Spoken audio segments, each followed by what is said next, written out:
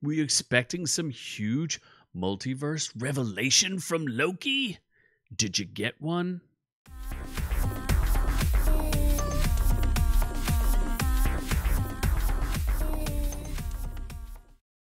We're going to talk about the finale of Loki season 2, episode 6. Full spoilers. I am the man you may know as E from Our Reviews Will Kill You, and a like and a subscribe would be greatly appreciated.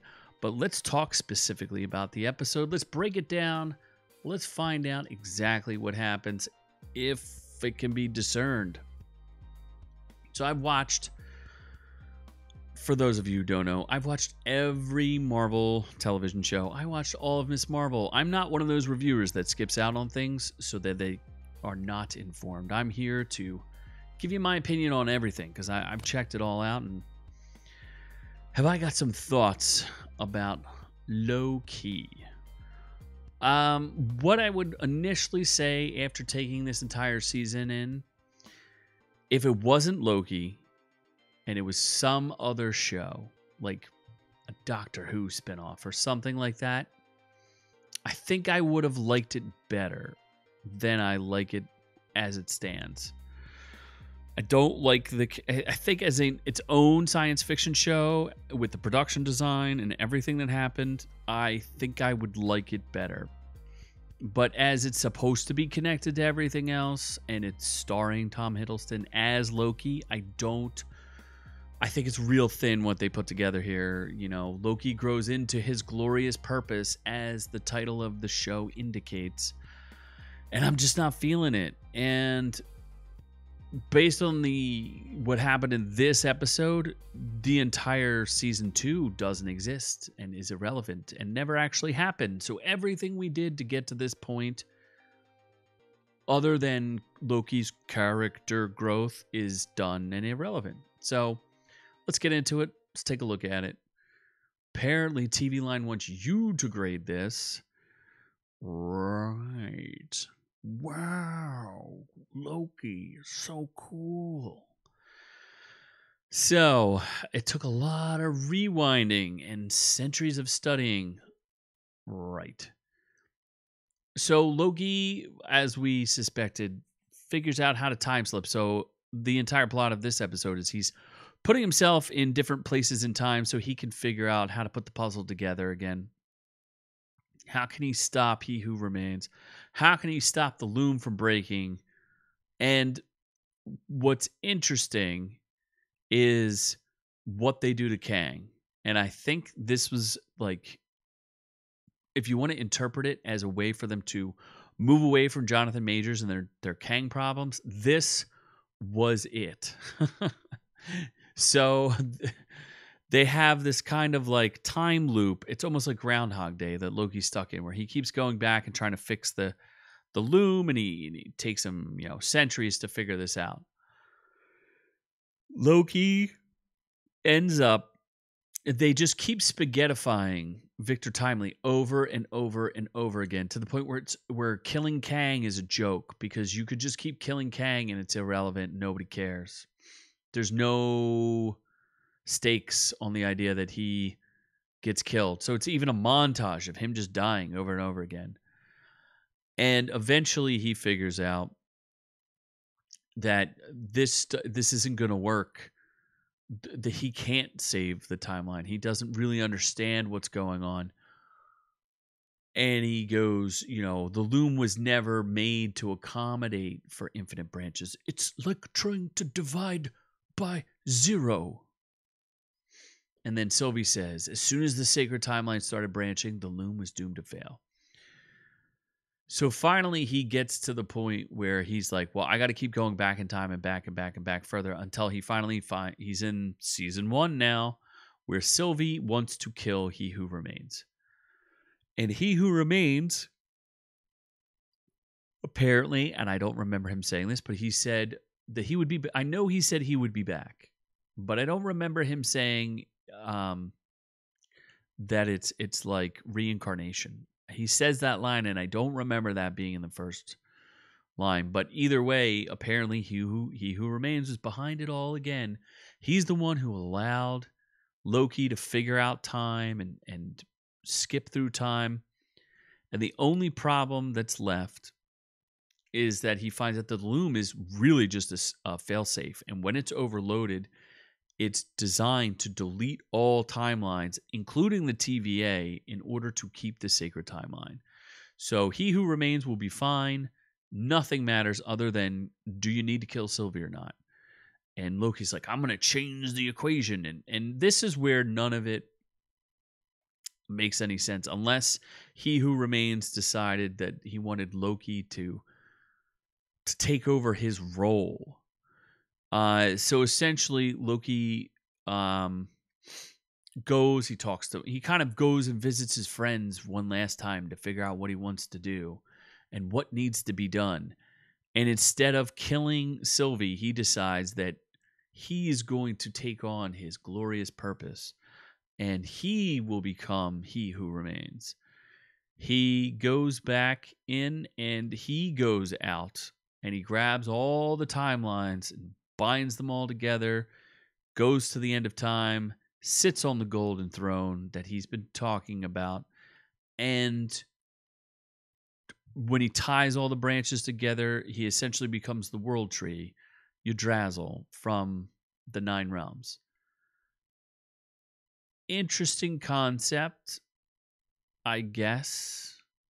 Um, like I said, if this wasn't Loki, maybe I'd be happier with it. And I, I get that they're trying to retcon his glorious purpose, but him just getting beat up by Sylvie over and over again and him getting like I don't know.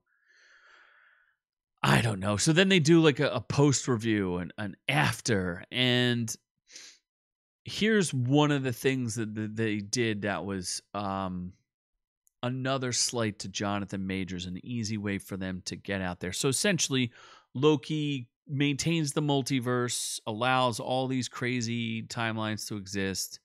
There is no sacred timeline, I guess, because a lot of the details are just glossed over and, and just not explained. But it, they do go into um, how there's you know, uh, he who remains goes, well, there's going to be, you know, infinite versions of Kang and they're going to cause a multiversal war and just destroy everything. But Mobius is pouring through his reports on the He Who Remains variants. And all of the He Who Remain variants are unaware of the TVA. And apparently, one of them caused a ruckus in a 616 adjacent realm, which is the quantum realm from Ant Man and the Wasp and Quantumania, but they handled it. So basically, they're saying, well, Kang can come, but he's not that difficult to deal with. The TVA knows about him, We'll take care of business, and, uh, you know, Ant Man and some ants beat up the other Kang. So he says he's a big deal, hard to kill, but he's he's really not. And then you see B15 gets a desk in the war room. Who's pruning vine? Like, I don't even understand what the point of the TVA is at this point. Who's pruning vines when Loki turned into a tree? Like, I don't, I don't get it. What is their job exactly? At least I understood their job initially, which was to keep the sacred timeline from being overwhelmed and getting rid of whatever variants they wanted. I mean, it was good to see Loki back in a Loki costume, but you know, I just I, I can't imagine people are happy with this. Uh, young Victor Timely does not find the TVA handbook. Uh, OB opens up a second edition of the TVA handbook. Do they explain any? No, don't explain anything. Judges, analysts from the TVA, no, none of it explained. Renslayer shows up at the void and and she's worried she's gonna get eaten by the thing that eats time, I guess. Sure, whatever. And Mobius is gonna go see his two sons. And then Sylvie walks off, and Loki sits at the center of his throne, getting what he finally wanted. So, I mean, I just there's nothing to this episode. There's just nothing this entire season was irrelevant. Everything that happened, unless you consider it character development, was irrelevant to Loki. Like, you know, if this was if it being selfish and this was being his glorious purpose, I mean, he he gets to sit on a throne. Like, I I don't really get. I don't. I just don't get it. Again, if it was a different science show with the production value, and I, I, I like the aesthetics, I like the TVA in the sense of like I like the way that the sets are designed. I think they're really awesome. I think the actors are fine in it. I think the concepts uh, they don't explain anything for science fiction show. It's very soft science fiction. Like we're not going to explain anything. Things are just going to be whatever. Um, but I just I f- left me feeling as empty as the entire season was because it was all irrelevant. What was Sylvie's character arc? Tell me what is her overall character arc? Somebody let me know. I have no idea. Uh, disappointing, yes. It's not the worst thing I've ever seen because uh, I've I've watched you know Falcon and the Winter Soldier and, and Miss Marvel and those things. So, um, but it's still disappointing. But not, I don't hate it. I don't hate it. I even don't even hate Jonathan Majors because it was funny to watch him get torn up. I don't really like his He Who Remains portrayal is like so slapsticky. It's annoying. But what are you gonna do? Uh, the fact, and it seems to me like they're backdooring him out of the show. And I suspect those little Easter eggs about the little adjacent thing and, and the the him getting spaghettified over and over again might have been a re-edit so that they that that montage seemed a little forced. So maybe they're just looking to backdoor Kang out of there and they don't need to worry about it. And Maybe this closes the door on Loki. I don't know. What do you think? Do you want to see more of Loki? Do you want to see a season three of Loki? Where do they even go with all this? I like the symbolism of it tying it all to the to the world tree, which is cool. But I just don't feel like they earned that. I just feel like this was like somebody was sitting in a writer's room and they went, okay, what do we do with Loki? Oh, Loki's always talking about his glorious purpose. Awesome. He wants to sit on a throne. Awesome. Let's have him tie up all the time and he can take the place of he who remains, which doesn't even make sense in the first place. Awesome. Let's do that. Well, how do we get there? Doesn't matter. Let's just do it. We'll get there. You can't stop us. Barely. It's super easy. Barely an inconvenience. So anyway, let me know what you think in the in the comments below. Let's have a discussion. Let's talk about it. I don't know if people are even still watching this. I think it lost half of its audience. Uh, but we do have a uh, podcast for you to listen to. It's on 7:30 p.m. Eastern Standard Time, Friday nights. It's a lot of fun. Come join us. Come join. Bring a drink. Bring your friends. Whatever you want. You can also get that same podcast on iTunes, Stitcher, Spotify. We appreciate you. Thank you for sticking around this long. I do appreciate it because I'm no Kang, but I am on to the next one.